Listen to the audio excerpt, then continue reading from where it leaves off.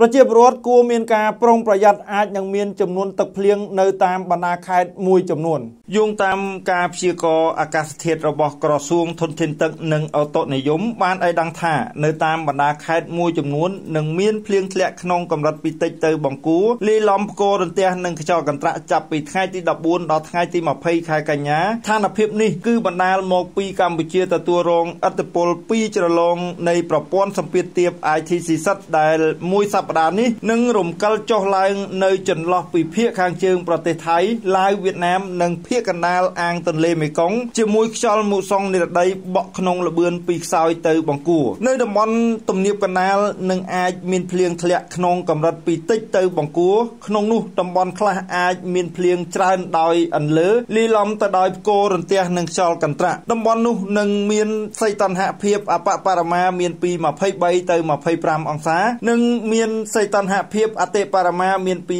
31ទៅ33អង្សានៅតំបន់កំពង់រាបនិងអេសានមានភ្លៀងក្នុងកម្រិតពីតិចទៅបង្គួរក្នុងនោះតំបន់ខ្លះអាចមានភ្លៀងច្រើនដោយអន្លើលាយឡំទៅដោយផ្គររន្ទះនិងខ្យល់កន្ត្រាក់ត្រង់តំបន់កំពង់រាបនឹងមានសីតុណ្ហភាពអបបរមាមានពី22ទៅ24អង្សានិងមានសីតុណ្ហភាពអតិបរមាមានពី30ទៅ32អង្សាចំណែកនៅតំបន់មាត់សមុទ្រនឹងអាចមានភ្លៀងក្នុងកម្រិតពីតិចទៅបង្គួរលាយឡំទៅដោយផ្គររន្ទះនិងខ្យល់កន្ត្រាក់ហើយមានសីតុណ្ហភាពអបបរមាមានពី22ទៅ24អង្សានិងសីតុណ្ហភាពអតិបរមាមានពី30ទៅ32អង្សាក្រសួងធនធានទឹកនិងអូតូនិយមអំពាវនាវដល់ប្រជាពលរដ្ឋបង្កើនការប្រុងប្រយ័ត្នចំពោះចំនួនទឹកដែលអាចកើតឡើងពីបរិមាណទឹកភ្លៀងច្រើនកន្លងមកនិងភ្លៀងជាបន្តបន្ទាប់បន្ថែមបន្ថែមជាប់រហូតសិប្បកម្មសាប៊ូសេដ្ឋីធី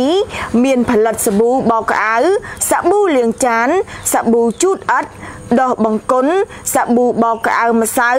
និងទឹកក្រអូប ដែលមានគុណភាពល្អ